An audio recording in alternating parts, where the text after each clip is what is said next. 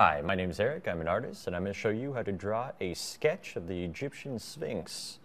Okay, let's start out by drawing the head, which has a headdress and such. So let's draw the face coming out here. Ah, it has this beard thing coming out. That, squared. Bring that up. Bring that up there. All right, now let's draw the headdress, which is Egyptian. It comes down here. That up there. This up here. Follow the lines to that. An eye, an eye, a mouth.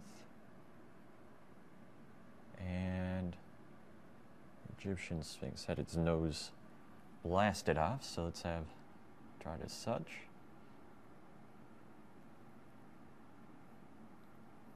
Draw the horizontal line contours here and here. And let's draw its lion-like body. Bring this out. And draw some paw-like shapes there. That up. Make those three-dimensional. This back. And do the same on this side.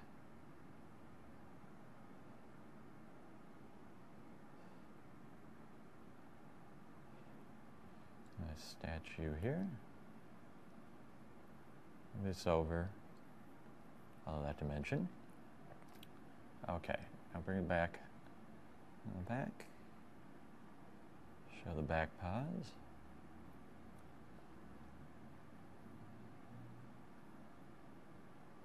up, back, follow that. And then its tail wraps around itself. All right. Now you can add just this dimension here and bring this up. And we can add just a ground plane and why not pyramid right here. Okay, and that is how you draw a sketch of the Egyptian Sphinx.